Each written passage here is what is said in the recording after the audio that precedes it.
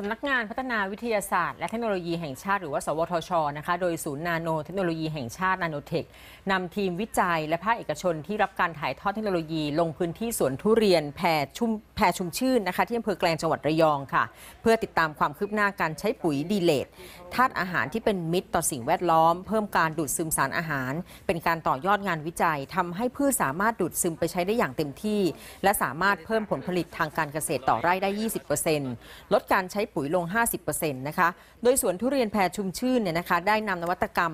ปุ๋ยดีเลตมาใช้ประมาณ 1 ปี แล้วก็พบว่าทุเรียนให้ผลผลิตมากขึ้น ผลมีขนาดใหญ่ค่ะ แล้วก็ทำให้สามารถทำการตลาดระดับสูง หรือว่าตลาดส่งออกได้ ที่สำคัญนะคะยังช่วยลดค่าใช้จ่ายด้านปุ๋ยและอาหารเสริมอีกด้วยค่ะ